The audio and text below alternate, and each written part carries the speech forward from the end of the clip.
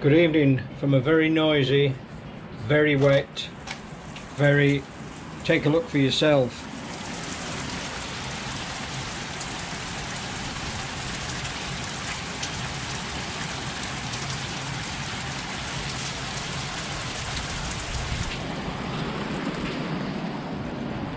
So this will be a short video unless it stops raining. Bye. And good morning from a substantially drier than last night Peterborough.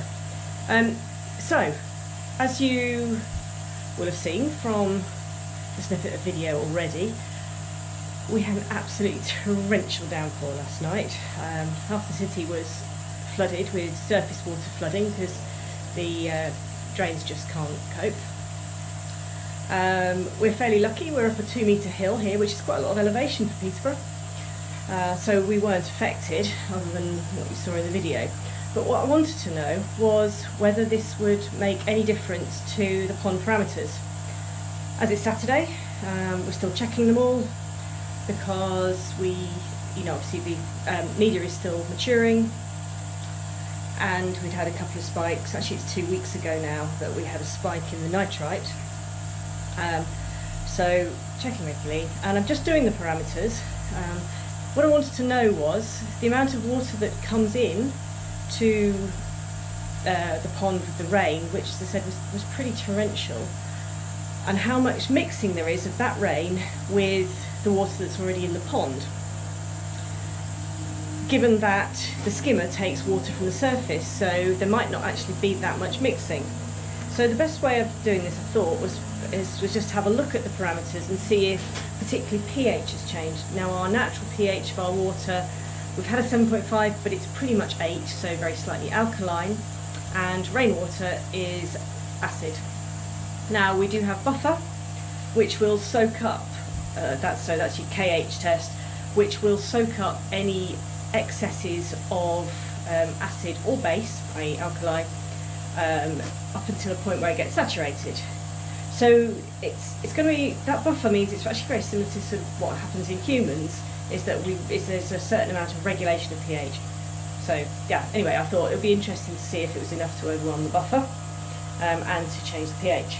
So I'm just checking my um, because it's now time to do some readings. So the first ones which we have done already are the pH, and you see that's a lovely green colour so that is what it should be. Um, that's eight. So the rain we had last night, even that amount, and there must have been a good inch, um, has not affected the pH of the pond, which is great. So, and the other one is the KH, as I said. So this is the amount of um, battering from from either acid or base that the pond can take, and our, our KH has not changed. So the amount of buffer in the system has not changed, and it's six, which is perfect. So, um, to read the others, the nitrate is ready to read, and considering the problem, so over a couple of weeks we've been maturing the media, that's pretty pale to me. Uh, so that's going to read less than 2.5 on the scale, which you can probably just about see down there, which is great. Similarly, the nitrite, which is ready to read, as you can see, that's move that around. Again, that's lovely and pale. So 0.25 maybe. So it looks as though we might have actually got over some of the issues or the media is maturing. Um, we fed the fish more this week than we did last week, just because we've been around. Um, as you've seen, we've been introducing them to um, some other foods. Um, they're getting to like the brown bread.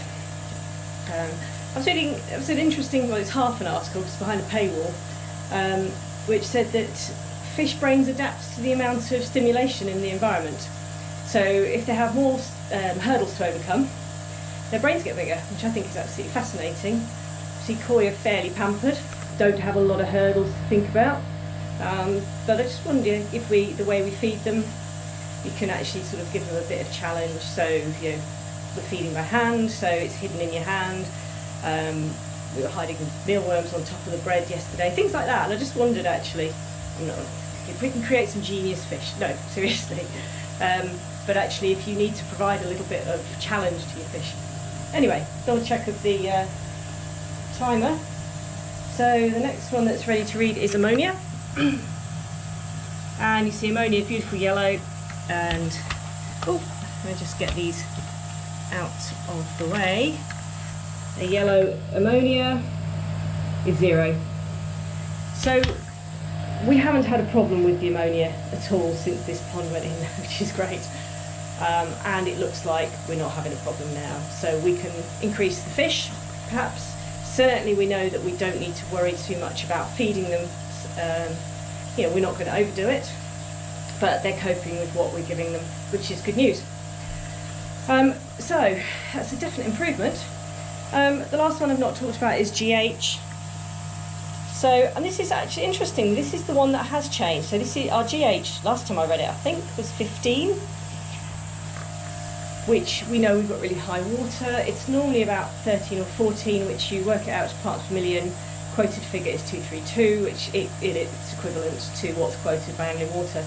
But sort of down at 11, 12 today, and again, so that maybe show that there is some mixing of rainwater, but that actually what the amount of the, amount of rain we've had doesn't affect, it's not enough to affect the acid base status, but actually there is some mixing. So I thought that was really interesting.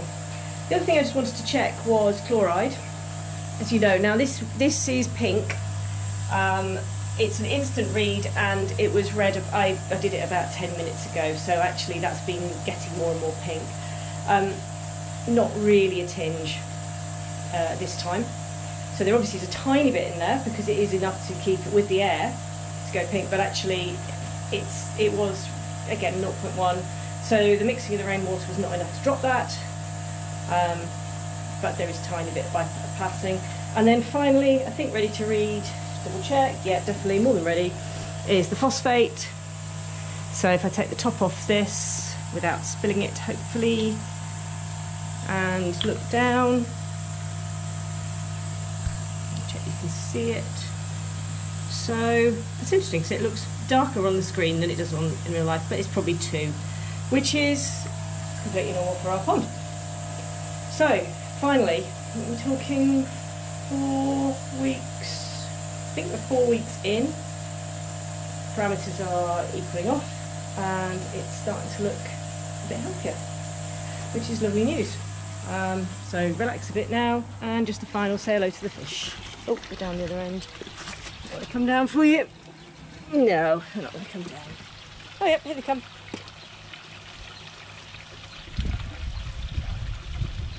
Slowly, slowly. Thank you very much.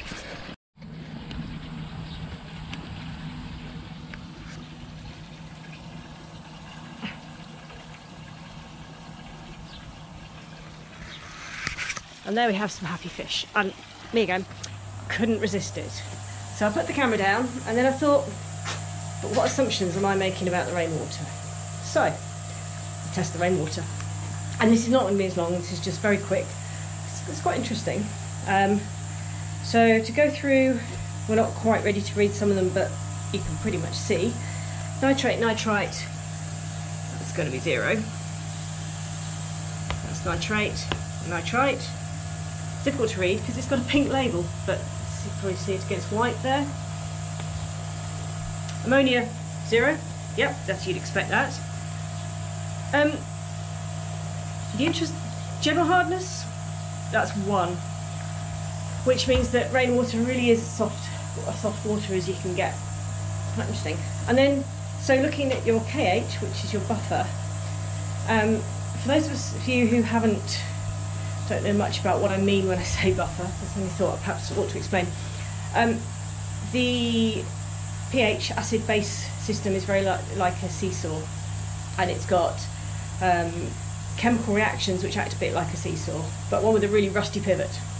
So you put in a certain amount of weight on one end, say an acid pH, um, and it takes a certain amount to use up the buffer or to overcome the resistance of the pivot and then to start to tip your seesaw. So that's how it works. I said it's just a really rough, rusty pivot on a seesaw. Um, the KH, which is measure of buffer, and that's really interesting because that, I mean, that's clear, but that's because, it's not because we have uh, brown rainwater, we probably do, Um, that's because it there is no buffer in rainwater at all. Now we took this from the top of one of the water butts. It's a water butt that went in about two weeks ago. Take it off the top so anything organic should have settled and that's about the cleanest rainwater that we have. Um, I would expect, this is the interesting bit, that if there was much organic matter going in, given that it settles to the bottom, it would increase the acidity of the rain. We hear about acid rain, and we know that uh, on the whole there is quite a bit of uh, acid in the rain, although not as bad as, you know, as it was uh, before um, there was the real uh, before we stopped using so much coal energy, there was so much sulfuric acid uh, being pumped and sulfates being pumped into the air that made sul- um, sulfuric acid in the rain. But the pH is nice and yellow, which means that the pH of rain is 7. And I was really surprised about that. Um, just the other side, so the phosphate, that's zero, quite clearly no phosphate in rainwater. And the chlorine, it's interesting because that Again, I don't know how well this is going to show up, but that has a slight tinge of pink. So there is a small amount of chlorine or chloride, I'm presuming it's not chloramine, but there's no way of finding out, um, in the rain that's coming down. So yeah, just say, thought it was interesting because we do make a lot of assumptions, um, so I would just double check. Thank you, bye.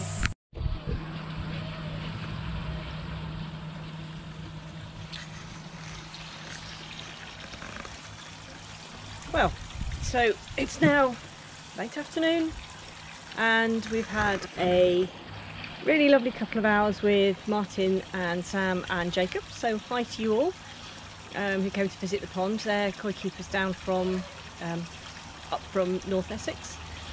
Um, and that was really pleasant. And a particular hi to Jacob who managed to do the climbing wall without falling off. Hey! Uh, so just a quick summary. So after all the rain we had last night, it didn't really appear to appear to have affected the pond, pond parameters much. We're getting there with the filtration. Uh, I did also, while I had the chemistry set out, did a quick um, check of our tap water parameters, which, surprise, surprise, lots of chlorine. Um, more surprising, lots of phosphate, so we appear to be taking phosphate out of the system. Um, and also some little bit of nitrate and nitrite, um, but they are potential pollutants that you can get in your water. We looked at rainwater, um, as I said, not as acidic as I thought, but obviously very, very soft. And then the pond water, where we're getting there, which is all good news. So I'll wrap up now, and um, yeah, we'll see you next time. Bye.